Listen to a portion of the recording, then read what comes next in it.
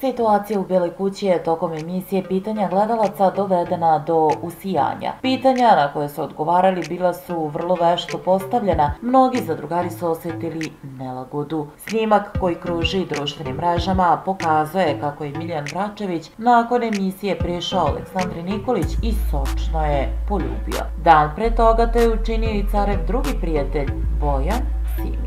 Zar ne mogu biti prijatelji? Nisu prijatelji jer možeš biti prijatelj sa nekom normalnom, mirnom curom koja je moralna i nije na izvoli, kao su najavi. Da mogu biti prijatelji, ali da se radi o tipovima koji su normalni za svoje godine, ne pedofilčići koji se pale na klinke, ne osoba koja je prijatelj tvom bivšem i koja ti je izjavila ljubav. Zar je moguće da u kući boravi 50 ljudi, a ona u krugu matoraca koji se pale na klinke. Sve starije od 45 je degotantno. Od običnog druženja popelo se na veći nivo. Prstići, poljubci, milovanja i tako do kreveta. Sve kreće od prijateljstva, nizali su se komentari. A ono što sve zanima jeste reakcija Filipa Cara.